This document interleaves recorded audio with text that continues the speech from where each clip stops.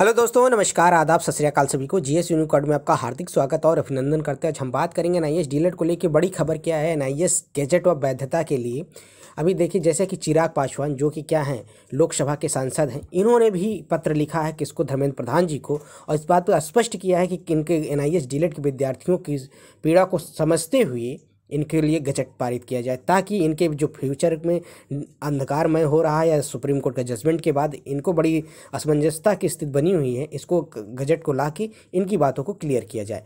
तो इसी तरह आपसे सभी से विनम्र निवेदन भी है कि आप अपने यहाँ के सांसद से ज़्यादा से ज़्यादा पत्र लिखाकर शिक्षा मंत्री और भारत सरकार को भेजाएँ। देखिए पत्र क्या है? चिराग पासवान जी का है, जो कि क्या है? लोकसभा के सांसद हैं और ये इनकी, खुद की पार्टी है।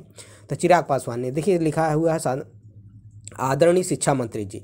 इस पत्र से अमित कुमार जी ने जो कि वहाँ के हैं, उन्होंने अनुरोध किया है कि राष्ट्रीय अध्यापक शिक्षा परिषद एन ने डीएलएड कोर्स के आधार पर भारत सरकार के राजपत्र में प्रकाशित न होने का, होने के कारण इन्होंने अनुरोध किया है कि क्या करें?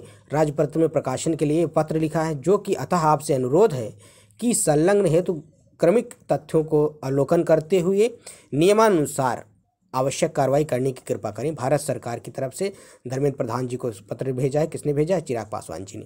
कहने का मतलब है जी कि आपको भी ये काम करना है। आप जहाँ भी रहते हैं, जिस भारत के किसी भी राज्य में हैं अपने अपने राज्यों के अपने अपने लोकल, चाहे विधायक हो, सांसद हो, लोकसभा सांसद हो, उनसे पत्र लिखाइए। ज़्यादा से ज़्यादा मात्रा में पत्र लिखा के अगर आप भारत सरकार के पास भिजवाते हैं तो देखिए एक सर लड़ाई किसी एक की नहीं है कि जो दो चार अध्यक्ष बने हों, अपना जाके।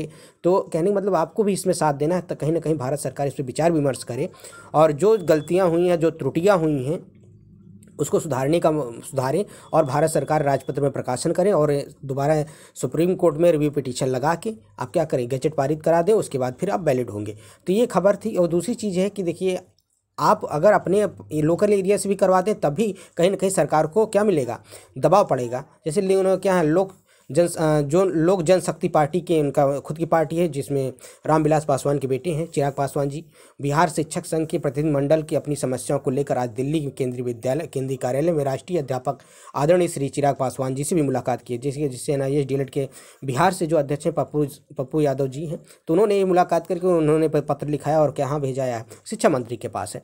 तो इसी तरह आपको भी अपने यहाँ के, आप जहाँ से भी चाहे, देखिए, ऐसा नहीं कि किसी एक की लड़ाई से आप जीत जाएँगे, आपको भी एक कोशिश करनी है अपने यहाँ के सांसद से लिखाएँ और ज़्यादा से ज़्यादा मात्रा में अगर वहाँ पत्र जाएगा, लेटर जाएँगे तो कहीं ना कहीं इस पर सरकार विचार विमर्श करेगी विचार विमर्श के ही साथ साथ आपको ये ये जीत के लिए एक मुमकिन तक पहुँच पाएँगे।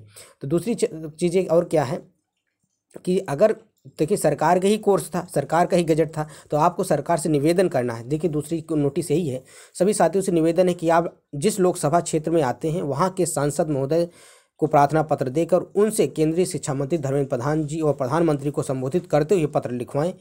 जिससे उन एन की न्यूनतम अर्हता को लिए गजट जारी करने की बात कीजिए। ज़्यादा जानकारी के लिए अभी तक जिस सांसदों ने पत्र लिखे हैं, उनसे देख लीजिए। जैसे कि अभी पहले वीडियो में हमने दिखा, बहुत सारे सांसदों का पत्र जारी हुआ तो उनको देखें। उसी आधार पर सांसद पार्टी से फ़र्क नहीं मतलब कोई भी पार्टी हो, ज़रूरी नहीं कि ये बीजेपी की पार्टी के सांसद हो, किसी भी पार्टी के सांसद हैं तो उनसे आप पत्र लिखाइए। जितना ज़्यादा ज़्यादा सांसदों के पत्र देश भर में पहुँचेंगे, उतना कहीं ना कहीं पक्ष मज़बूत होगा और आपको न्याय मिलने की संभावना ज़्यादा बढ़ती जाएगी। और यही खबर थी। दूसरी चीज़ है, आपको यही काम करना है। देखिए, ये लड़ाई किसी एक की भी, एक व्यक्ति की नहीं है सभी व्यक्तियों की है। इसीलिए आपको भी एक कार्य करना है और ज़्यादा से ज़्यादा जैसे कि आप इकट्ठे होकर जाएँ, मंत्री जी के पास, सांसद के पास पत्र लिखाएँ और मंत्री जी को, प्रधानमंत्री जी को और शिक्षा मंत्री को भिजवाएँ। खबर यही थी, अगर वीडियो पसंद आए तो चैनल को लाइक करें, कमेंट्स करें, ज़्यादा से ज़्यादा अपने दोस्तों में शेयर करें। शिक्षक भर्ती से पल पल अपडेट के लिए चैनल से जुड़ सकते हैं, सब्सक्राइब कर सकते हैं और पहली बार विज़िट करें तो चैनल को सब्सक्राइब कर लें। मिलते हैं नए वीडियो के साथ। जय हिंद साथी नमस्कार। सभी के दिन सुबह आई होप आपको वीडियो पसंद आया होगा। Thank you. All of you have nice day. Good day.